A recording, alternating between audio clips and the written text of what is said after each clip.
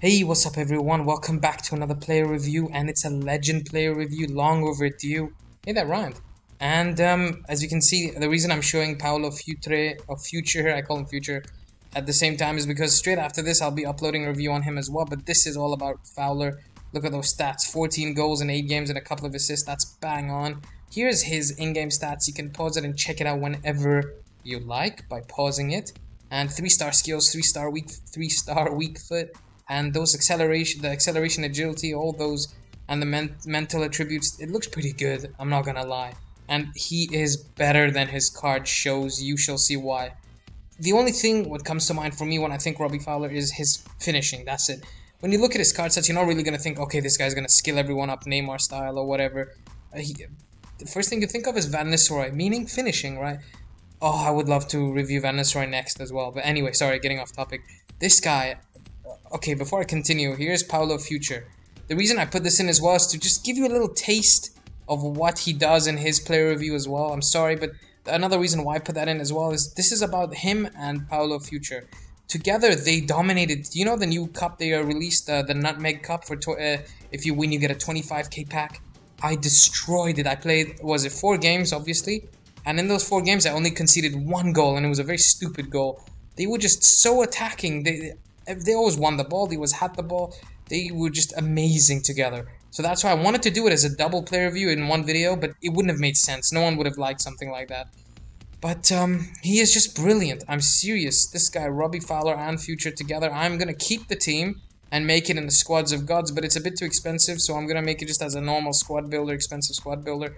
They are just absolutely phenomenal. Absolutely phenomenal and um, his finishing together is just brilliant. And his weak foot is his right foot, and um, you shall see here. Look at this, for example. This is his weak foot technically. Technically, he is just unbelievable. You're not gonna be able to do much like outpacing the likes of David Luiz because he's very slow. Like there, you can see his touch let him down there, but he makes up for it with his shots and stuff. He's absolutely brilliant. When he's on the breakaway, he will just put all that energy and agility into that run.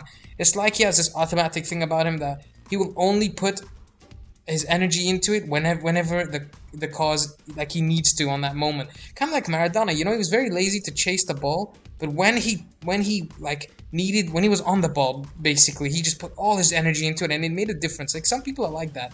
They store all their energy up and they they they're very lazy until it comes to the time when they are on the ball or when they have a chance to do something with it. I'm not disrespecting Maradona. I love him, but anyway, um, almost clipping the post there as well. Robbie Fowler from outside the box. Check this goal out there. And that's with his strong foot, obviously, because it was his left foot. Very nice acrobatics. I would definitely say if you guys want to splash the cash for him, you should get him one. He, the good thing about him compared to the other legends, for example, Portuguese, Dutch, is very hard to make a team around them. So when you have an English player, it's a lot easier because you have the likes of Walcott on one wing and Sterling on the other wing and him up front in a 4-3-3 and you can have Gerrard just under Fowler and then you can build a prem team around them and you can sub one of the wingers out if you don't think they're good enough to uh, play alongside Fowler. There's many ways to do it. Just check this out as well. I swear when I shot this, I did not expect the keeper to come out. I never look at the radar, and he was kind of hit like a bullet. It was a very good shot, very strong shot. He has a very good weak foot and strong foot. Uh, great header, very, very good finishing, tremendous long shots in my opinion. Not long shots like 40 yards, around 30 yards and stuff. He's just brilliant.